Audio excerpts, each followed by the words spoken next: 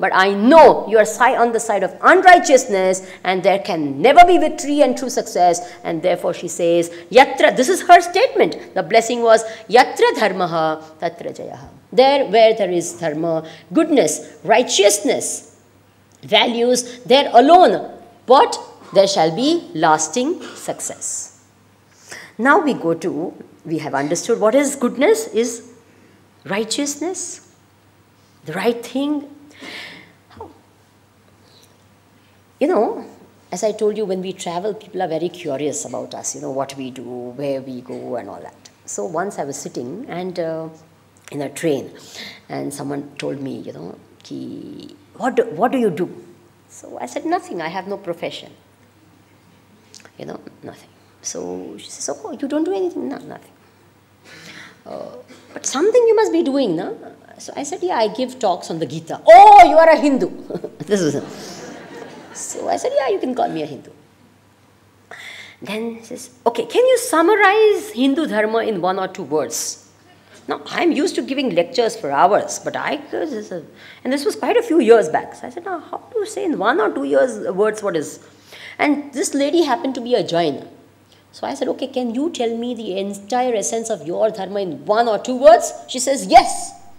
I said, what is it? She said, ahimsa. I was stunned. It's true. Isn't it true? The Jains lay a lot of emphasis. I said, yes. I felt bad, you know. I said, now let me think about one or two words, the entire crux of the Sanatan Dharma. And I started thinking. Christianity. What, give me one or two words which summarize the entire essence of the. I'm not talking about the practice of it, I'm talking about the essence of the original dharma, original religion. Huh? What is the essence of it? Hmm? It is love and service. Is it true or not? They have a lot of uh, emphasis on love and service. The, entire, the essence of Islam in one or two words, I'm not talking about any practice or anything of it. I'm just talking about the essence of the true dharma. What would you say? In one or two words? In the entire Quran, a lot of the, they give a lot of emphasis on faith and brotherhood. Is it true or not? A lot of this on faith and brotherhood. Bhaichara, bahut hota hai. So therefore, now, if you you can differ in this, huh? This, this, this is not a hard and fast thing that is there. It's just an opinion, okay? You can have your own opinion about this.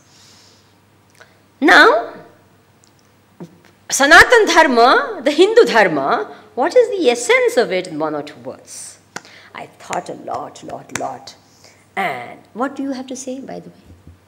Anyone, any ideas? Satya. Hmm? Dharma. Of Dharma, we want an essence. right? Don't whisper, say it loud enough for me to hear. hmm? Ahimsa? Tolerance. Tolerance? okay. Huh? Shanti. Satyameva Jayate. None of you are wrong. None of you are wrong at all. Hmm? Karma. Okay. Compassion. Okay. Righteousness. Okay. Huh? Faith. Duty. Okay.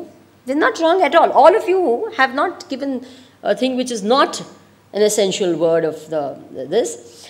After thinking a lot, I hit on one word. Maybe you would disagree, it's okay. The word was Shreya. Shreya means well being or Kalyan. When I'm in the south of India, I'm scared of saying this word Kalyana because in South India it means Kalyana means marriage. And whether marriage say Kalyan hota hai ki nahi, wo, that I don't know. Really, I am no authority on that subject. So I'll leave it. But Shreya, well being goodness of the other. That is the essence. Now, I'll tell you. See, there might be service, seva. But in seva, if there is no shreyas, it can only harm the other person. Isn't it true? In serving someone else, you, there is a chance that you can harm. I'll give you examples for each of this. you know, when we go to people's houses, then they all, you know, they love to show their love through food. That's the way, you know, Swamiji, you eat. And the more you eat, the more happy we are. But poor me, one little. And you know, Gujaratis, Swamiji, mara hathe nathi khadu. Me tamne nathi. And there are 15 members of the family. Each one wants to Swamiji, one more laddu, please. Saints are supposed to make the bhaktas happy. So I will be happy if you be unhappy. You become unhappy eating, it's okay, but it will make me happy, so you eat. But what about me? Think, no. Then, if there is no goodness and well being of the other person, is seva true seva? Yes? No. If you're harming the other person through your service, it's not good. Through your service, if you're, it's for the well being of the other person, then it's good. Seva also, service is good. Even in love, where there is no well being of the other person, it only harms the other person. I'll give you an example. You know, again in the Mahabharata, there's this beautiful story. A cow had given birth to a calf, and Krishna Bhagwan had taken Bhima to see this whole wonderful scene. And what happened when the calf was born? You all know the cow licks the calf, isn't it? Cleans the calf, you know, by licking the calf. And at that time, a cow is normally a very docile and a sattvic animal. Especially the Indian desi cows are very, very docile. They have these big, huge horns, but they won't harm anyone. But when it's given birth to a calf, it becomes extremely aggressive. No one dares go near it. Otherwise, you go, it'll attack you. Now, this cow had given birth and it was licking the calf. And the newly born calf has very tender skin. So it was licking and licking and licking and licking, and the calf started bleeding, but the cow did not stop licking. Bhima is telling Bhagavan Shri Krishna, what is this? What is this calf doing? And cow doing? He says, this is exactly what parents will do to their children in Kali Yuga. They will keep on pampering baby, beta, blah, blah. Oh, yes, oh, boy, my dear child, anything for you. You harm the child. But still, no, doesn't matter. When I was small, I did not get to eat ice cream every day. You eat ice cream every day. Whether it kills you, whether it's good for you, you eat. Don't worry, baby, baby. Isn't it true? Love where there is no well being of the other person is not true love. Do you all agree with me? Yes. True love, there is a well being first. That's the first thing, Shreya. Goodness of the other.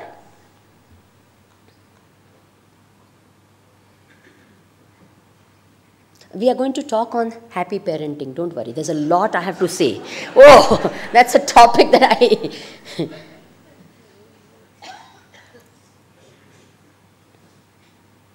Even if you see uh, any other, you know, faith, if you see, or anything where there is no well being, then it only harms.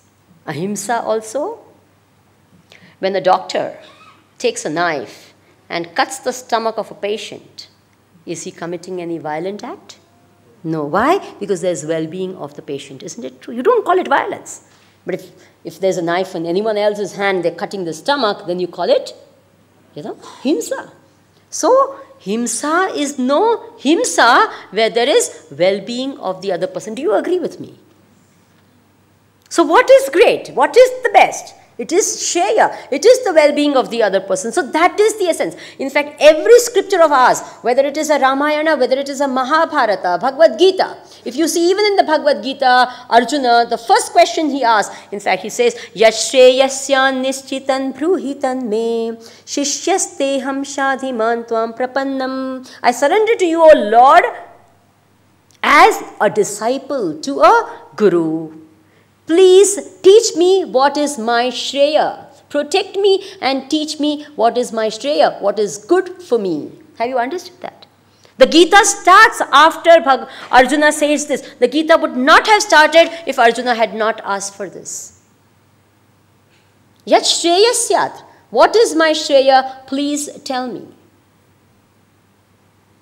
So, therefore, goodness of others is the very essence of Sanatan Dharma. Okay, as I told you, you can have your own opinion about this. There's no problem about. It. I'm just thinking what I felt, and the more and more I see in life, I think this is one of the most beautiful quality that is very much emphasized in the Sanatana. From wherever, whichever stage in life you are, your well-being is being talked about. You can be a very crass and a gross person. For you, this is good. For someone else, something else is good. You understand? It's like sugar is good for someone, but it's not good for a diabetic patient. You understand? But there is good health is good for everyone, right? sugar may be good for someone, not good for someone, but good health is good for everyone. So that, that is called Shreyas and the other is called Nishreyas. Shreyas is specific for one person. Nishreyas is good of all for all times to come. That is called good health is good for all, every time, anytime, all the time. Do you agree with me? So that is called Nishreyas and that is the essence of Dharma. There's a beautiful definition of Dharma given Remember this? Yataha abhyudaya nishreyasa siddhihi. Please don't feel allergic towards uh, our Sanskrit words because it's nothing but our Gujarati and Hindi and all. Gurudev always used to say, Gujarati mispronounced is called Sanskrit. Okay? and we get all dumb and Sanskrit નથી ખબર સંસ્કૃત ગુજરાતી તો આવડે જ ને થોડું આવડે થોડું તો થોડું કાંઈ વાંધો નહીં so, there where there is abhyudaya, abhyudaya means prosperity, and nishreyasa, well being, there is dharma. So, dharma has these two roles to play. What? And people have this feeling that, you know, eh, uh, India became poor because of our dharma. you, Rama. India was truly prosperous, one of the most prosperous countries, not one of the most prosperous country in the whole world when dharma was at its peak over there. You understand? It's only when we start following dharma that a lot of this. So abhyudaya and nishreyasa, when they go together, outer prosperity and inner unfoldment, both should always go hand in hand and that is where dharma lies. Have you understood? Now, we are going to come to a few questions and thinking. In this world, you can have three types of buddhi, thinking, or mental makeups. And you can have permutation combinations of these. Most of us have permutation combinations of these. One is called Shuddha Buddhi, a good heart. This is your inner mental makeup. Shuddha Buddhi, a good heart. The other is called Tikshna Buddhi or a smart intellect. And the third is called Sukshma Buddhi or a subtle intellect. Are you with me so far? Shuddha Buddhi, Tikshna Buddhi, Sukshma Buddhi. Now, when a person only has Shuddha Buddhi, a pure heart, normally people refer to him as Bechara Bhala Admi. Poor good fellow. they, they add the word, you know. In Tamil, they have this wonderful word called Pavam. No Tamilians around? Isn't it? Pavam.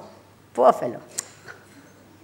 Good fellow. He's a very good poor fellow. And no one has respect for this guy. Is it true or not? You can love this guy, but ah, bicharo, બહુ ડાયો છે બહુ જ ભલો માણસ છે ભગવાનનો પણ and we think he's a bicharo manas, isn't it? He's a poor fellow. We don't respect him. Right? You can love that man, but you won't respect that person.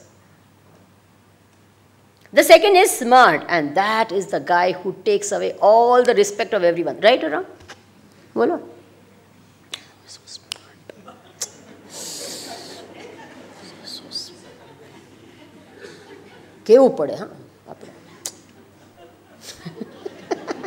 hats off if you have only smartness now we talked about a person who had only goodness okay he's considered as bicharo if you have only smartness then what happens devoid of goodness only smartness what happens you know, there was a guy, I heard of a story, very amazing. A man sold Eiffel Tower twice. You heard of that? Yeah, Eiffel Tower belongs to the government of France. The place is all, it's a national monument. And he goes and sells a national monument. How can you sell? But he did it. He got away with it. Second time he got caught. He wanted to do it the third time, but He says it's working very well, you know. The people are, and the first man did not tell, you know, he knew he got fooled. He didn't say it because everyone would think he's a fool, so he kept quiet. So he got away with it the second time. Pretty smart guy. Do you agree with me? And I tell you, much as you don't bond, you know it's wrong, you still admire the guy. What brains, isn't it? Look at the guy, he goes and sells this. How does he manage to do that? You. Okay? Then you have Sukshma Buddhi. What is Sukshma Buddhi?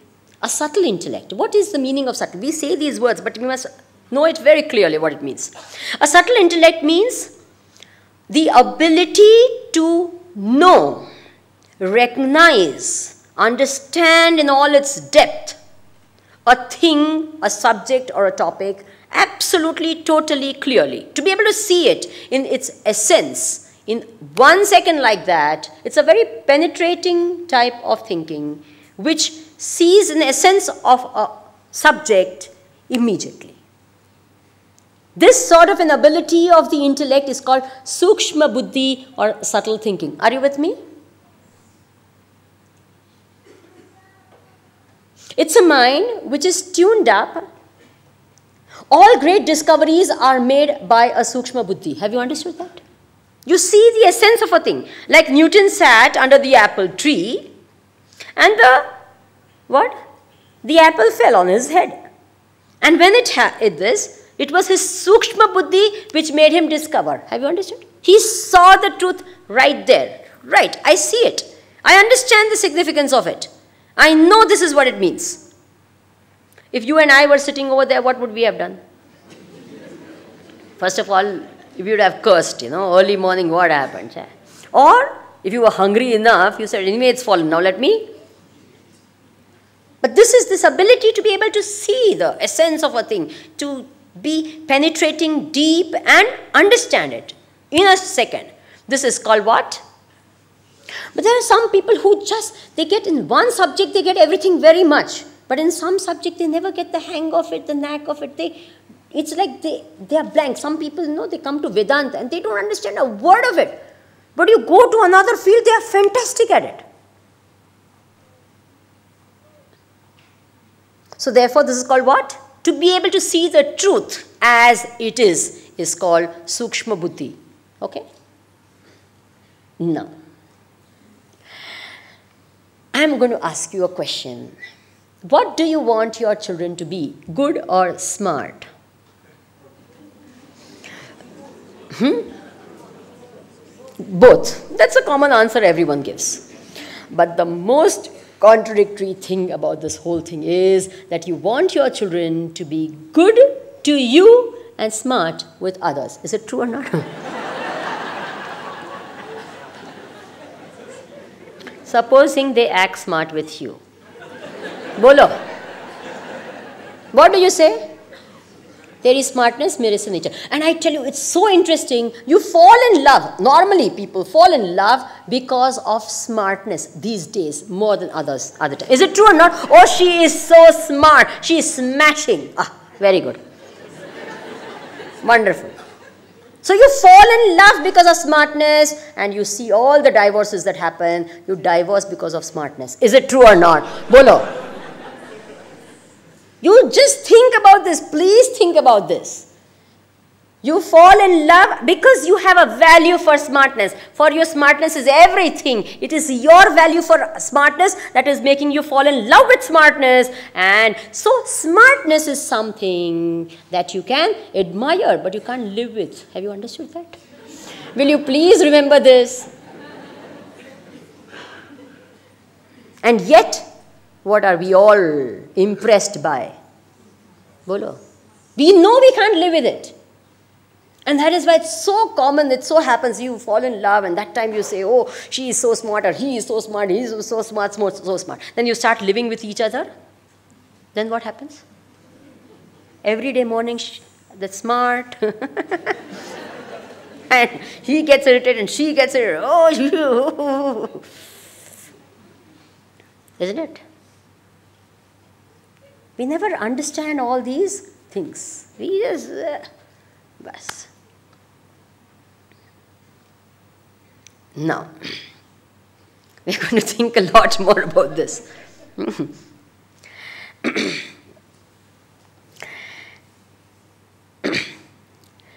Supposing smartness. Smartness is, it's not important, it's not that it's unimportant in life, okay, please. Smartness, I don't mean only physical smartness, you know, in a, a, a smartness is the ability to make material prosperity or talent, you know, ability to be, you know, efficiency. A lot of all these things come into smartness. And the ability to, uh, what do you say, uh, set things, you know, in order, understand the pulse of, you know, the person who can understand the pulse of the market. That's a very smart thing, isn't it? Others don't understand. They, this guy goes and, our gujus, you want this, isn't it? And they don't really need a lot of education. Nowadays, simply, I'm not saying don't get educated, but uh, all degrees and degrees, big management degrees, and top of this. And all, if you see all top management gurus all over the world, they have never taken a management degree. Is it a fact or not? Bolo. You find out. Does Deepak Chopra have a management degree? Yes or no? No. You see, all top management gurus, they don't have. Anyway, it doesn't matter. You go and get your management degree. People who have so much, you know, Bombay Stock Exchange at one time, this is a person, so many young fellows coming with all sorts of big degrees from here, there, everywhere. And they would go and learn from a man who used to wear dhoti and topi and this, and had no education, Nothing. And these people would sit at his feet and listen to his words like a guru talking. Why? He didn't need these degrees. He needed. He could know the pulse of the market, just like that. So, smartness is important, it's required, it's a good thing, it's not bad by itself. But, what is its role in your life? If it is a tool in the hands of goodness, it will only bless you all your life. Will you remember this? It's a very, very important thing that I'm speaking. If smartness is a tool in the hands of goodness, it will only bless you in your life. It'll take you ahead, it'll give you material prosperity, it'll help you to unfold within, and everything is possible. But if the other, the opposite takes place, believe me, it can only harm. If smartness becomes a thing in power and it uses goodness, then goodness will be exploited. It will be, a lot of things can happen which are very, very bad. And at the end of it, no good can come out of it. Now think, in your own life, what rules? Goodness or smartness? Think. Don't give me an answer, I don't need to know. You think for yourself. What is it that rules in your life, your individual life? You have smartness in you. We have goodness in us also. What is it that prompts our actions? What is it that makes us, you know, guides our life? Is it smartness or is it goodness? Ask yourself this question. Smartness is so manipulative that it comes many times in the garb of goodness. Have you understood that? It's a very manipulative thing. It makes the person feel nice. By one or two small little gestures of goodness, makes the person feel that he is very, very good. When he's actually what? What? it is only smartness which and makes him feel very good. So therefore, we have to be very careful. Smartness is something that you should keep as a what? Something to be used. Use it and put it away. When it's not required, Switch off the mobile. 24 hours if you're stuck with smartness, and I tell you, it will spoil all personal relations. Is it true or not? It will be an obstacle in the path of progress. Smartness is extremely manipulative. It wants its, and it will always try to dominate over goodness. It will always be in a struggle to be in a seat of power in your life. Many times it succeeds. And many times it rules so completely, it's like a dictator and doesn't even allow goodness to flower at all. Because we know there is goodness in the heart of every one of us, right? And yet, when smartness